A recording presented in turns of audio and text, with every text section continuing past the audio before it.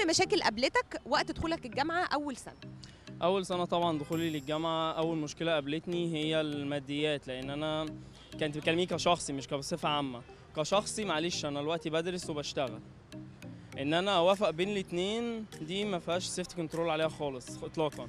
ما كنتش فاهمة حاجة وعارفة حاجة خارجة من مرحلة جديدة وداخلة مرحلة تانية خالص فكان كل الدنيا ملخبطة بالنسبة لي. أنت بتبقيش في مدرسة بتبقى في حاجات ريستريكتد شوية لكن في الجامعة كل حاجة مفتوحة.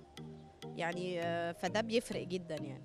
إن أنا التنسيق كان عالي قوي السنة دي ظلمنا قوي وما دخلتش يعني حلمي اللي أنا بذاكر علشانه وما دخلتوش ودخلت كلية مجبرة عليها.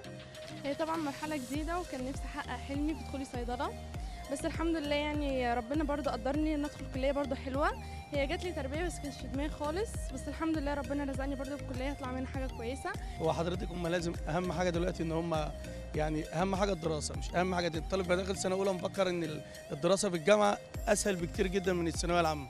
ودي خدعة كبيرة جدا. الجامعة حاجة غير الثانوية العامة. أنا ما كنتش عارفة بس اللي هي الفرق مثلا ما بين المحاضرة والسكشن يعني مثلا مش عارفة أظبط الجدول إزاي.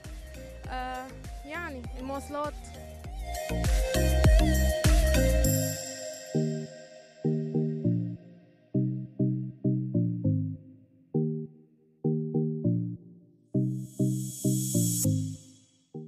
اتغلبتي على المشاكل اللي واجهتك دي؟ عملتي إيه؟ حاولت أفهم الدنيا وأخد رأي ناس أكبر مني في داخلين الجامعة يعني ومخلصين أو في سنة تانية وكده وقدروا إن هم يساعدوني وقدرت إن أنا أستفيد منهم. الحمد لله بالصبر وبالصلاه ودعم أهلي ليا. الحمد لله يعني عديت المرحلة دي. يعني تركز في حياتها ال- ال- الدراسية وكل حاجة في قلب الجامعة.